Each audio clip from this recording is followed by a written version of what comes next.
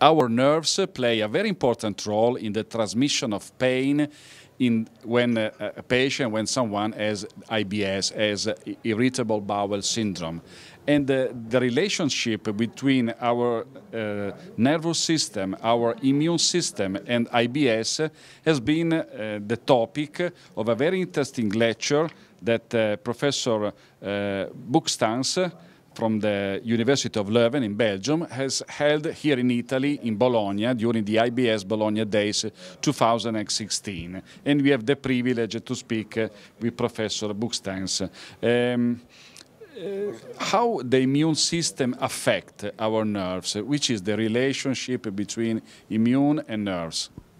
Well, the nerves that affect or um, transmit the pain signals to the, to the brain are in closer proximity to, to, nerve uh, to immune cells.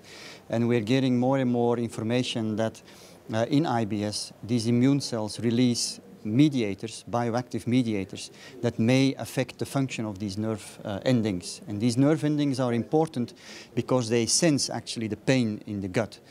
And so if these uh, immune cells release these mediators, uh, and they increase the, the sensitivity of these uh, pain-sensing nerve fibers, it becomes very important to know how these immune cells interact with these nerve fibers um, to eventually get more information on how pain is sensed in these uh, patients and how eventually we can intervene, we can intervene uh, with drugs uh, to get to treat these patients and make them better. That's a bit what uh, neuroimmune interaction, why that is important in uh, IBS. And we know specifically which type of interaction there are between these two systems? Well, of course, there's still a lot to be, to be done, uh, but we know quite certain that uh, mast cells, which we know from allergic diseases, uh, that they may play a role in, um, in this upregulation or desensitization of these uh, pain-sensing nerve endings.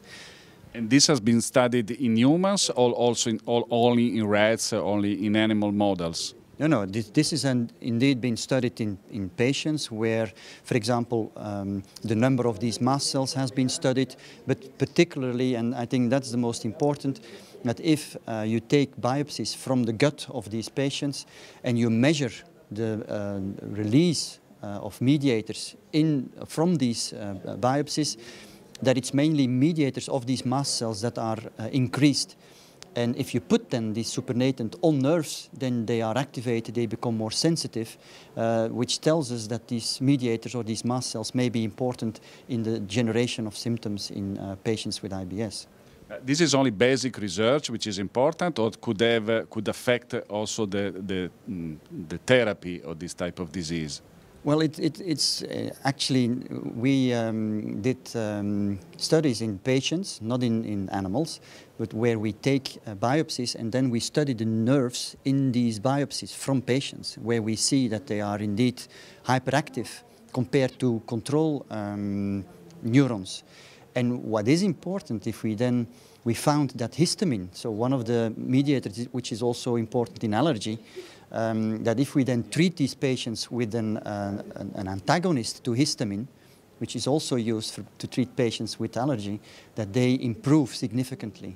Um, even 30% more than placebo, which in this type of diseases is extremely high. So that's why we are currently doing a, a follow-up study where we will treat 200 patients uh, with this drug um, an H1 receptor antagonist, Ebastine, uh, and see if it uh, can be confirmed in a larger uh, study population. It's a phase two study? It is indeed a phase study, a, two, a phase two study, but investigator initiated, so driven by, by my group.